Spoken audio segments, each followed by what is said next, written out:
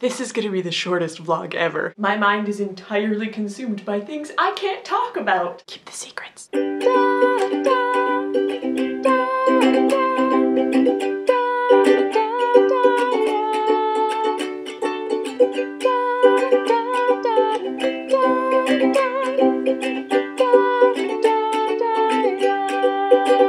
I loved it. I laughed uproariously. I wept. I was awed. Turns out, when it's Harry Potter, you get some pretty cool shit. I was even surprised a time or two. I also felt and am feeling a lot of complicated and conflicting things about different things for lots of different reasons, but I don't know how to talk about any of that without talking about what happens. And despite my shock at how many of you want me to tell you what happens, I will not. After the script comes out and after you've read it, send me a message and I will happily tell you everything about the theater production. I have been making notes trying to make sense of all of my feelings and I would love to talk to someone real about them.